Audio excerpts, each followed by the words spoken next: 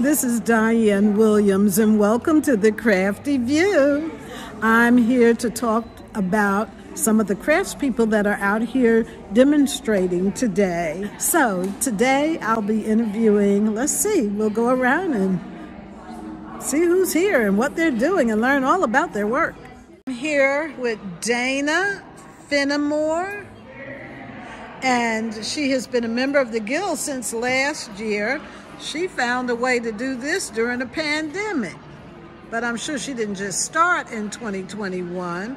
But we're going to find out what it is she does and how she does it. Here are some of her designs. You notice they, they have that lush earthiness about the colors. Makes me think of the Gulf Coast for some reason. But Dana is a potter, and here is her contact information. But let's talk to, oh, and this is her color. I think with these, greet with her business cards, this color, that tells me this is her favorite color.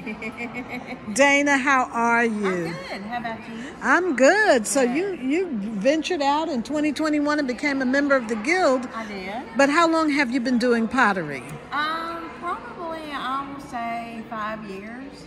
Okay. Five years. Yeah, What got you started? longer. Um, my um, educational background is in studio art, so I kind of do a lot of different things. But I really love clay, and I love ceramics, and I love sculpture, and so um, the medium allows me to um, kind of stretch uh, my wings and in a lot of different uh, and go in a lot of different directions with it. Yes. Um, this is a slab sculpture that I'm creating. so you hand build. Um, I throw and a hand build. Okay. Um, this happens to be, this what I'm working on is going to turn out like this. This lady, it's going to be a planter. Uh, both of these uh, pieces are hand uh, built from slabs. Um, these are terracotta. Um, and so this is this sculpture here is hollow. Um, and it's just terracotta and then I um, brushed some white slip on it to give it a little bit of a contrast there. That's a very interesting piece. Thank you. Yes, I love, you know, what you've done with that. And then this is the back of it. And I guess she's kind of a forest fairy, nymph, whatever, you know? Yes. Um, my students, I teach at Northwest Mississippi Community College in the art department there, and they wanted me to give her pointy ears. And so I Oh. felt like with the pointy ears that she needed a bird on her shoulder. I agree. Very thoughtfully done. And so this piece you've so it looks like there were two pieces there that you put together. Well, actually, it's a slab that I rolled out. Okay. Um, and then I cut it. And then um, I just, uh, these are just lines to, to mark where, uh, so I know where placement is, um, the center of the, of the um, face, the eyes, um, the ear, where I need to attach the ear, the temple area and things like Oh, that. Oh, I see. Yeah. Mhm. So, and then I will just go in and tweak it and add um, brows and eyes and the lips and everything like that. And then um, for the hair, I just kind of like piece some uh, pieces of clay on there so that I don't want it to look like strands of hair. I just want to give the indication of hair or what have you. I think it looks a lot better that way. Now, do you use a certain type of clay? Um, well, this is stoneware here. This is just what I had. And then um, this is terracotta floor. But I would normally make the planters, um, especially if I'm going to have a plant in them, um, out of terracotta, so they can live, they can stay outside and that sort of thing. Okay. This could as well, but um, I think um, if I'm not going to um, glaze fire, I'm just going to use the terracotta for a planter. Now, the planters that I'm looking at over here, do they also go in the kiln? Yes. uh-huh. Okay. Um, these pieces are glazed. Um, this is all stoneware as well. Some of it's thrown on the wheel and some of it's slab built. Now, what can I use this piece for? There's That's multiple. Soap oh, soap dish. Yeah, you can use it as a soap dish. You can put jewelry on it. Uh, just a catch-all type of thing. Nice.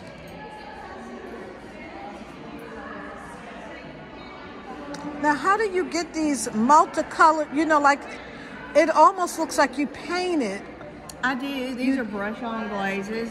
Okay. This one here, um, it has a pattern that I rolled out. I cut it from um, actually this piece.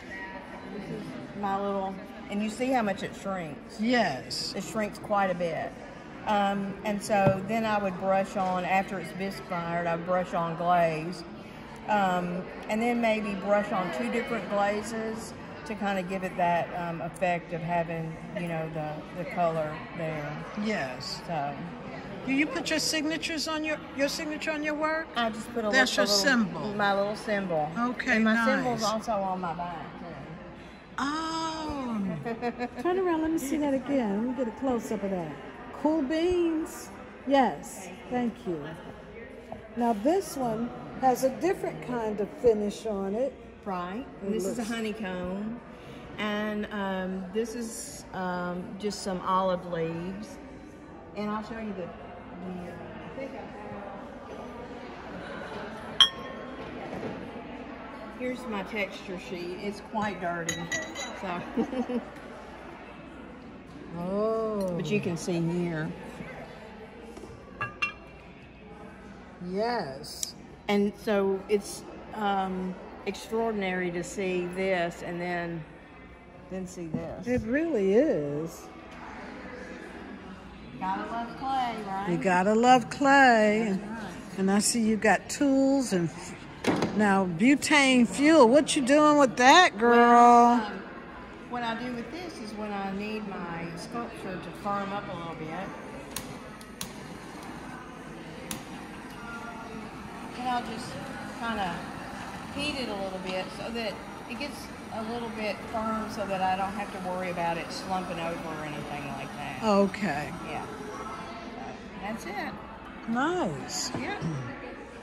Well, thank you so much. I got your information on your card here to share with people. Thank you. And what part of the state are you located in? Or Um, I'm in Senatobia, Mississippi, okay. up up near Memphis. Oh. And You got Well, all your- 35 miles from Memphis, we'll say. Mhm. Well, thank you so much, Dana. Thank you. Much Appreciate it so appreciated. much. Mm-hmm.